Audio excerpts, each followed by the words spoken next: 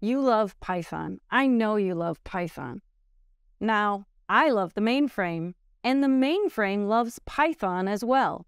So give me just a few minutes, and I'm going to explain why your love of Python will translate to your love of the mainframe as well. Here we go. Let's say you're a data scientist. As a data scientist, you care about more data and fast processing. Well, let's think about it. The mainframe today has 70% of the world's structured data, at least, on the system. So you have access to large amounts of very important data that run banking systems, insurance systems, the financial world.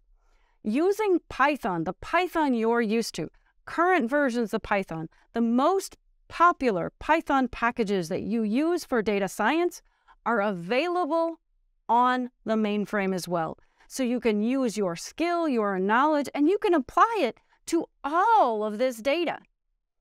And for fast, we have the Telum processor. The Telum processor allows you to load those models into the system and allow them to run alongside the existing processing. So your job, make sure fraud detection happens.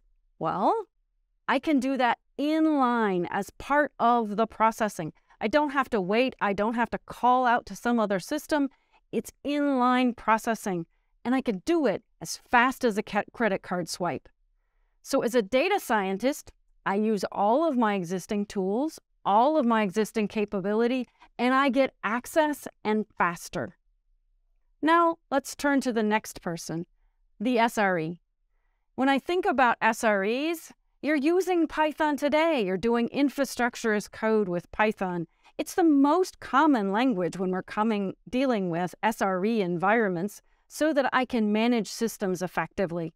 Well, on the mainframe, you may think about REXX and JCL, but forget about that. You can use Python to do all of what you need to do on z/OS.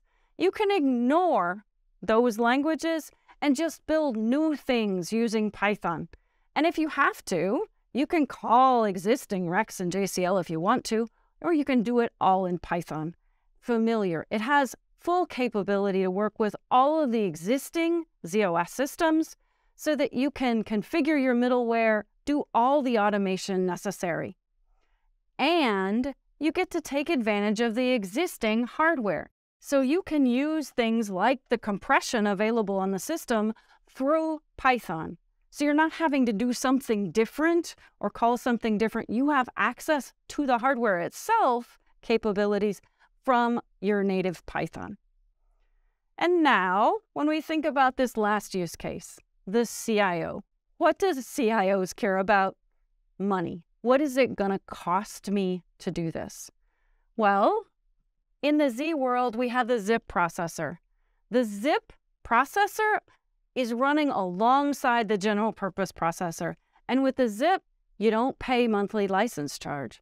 So you're getting to do all this additional processing without adding to your bill and your bottom line. So this makes all of this work efficient, easy, effective, and without costing anymore. So hopefully it's clear that you love Python and now you can love the mainframe with Python since the mainframe is what runs the world. Thanks for watching. If you liked this video and would like to see more videos like this, just click like and subscribe.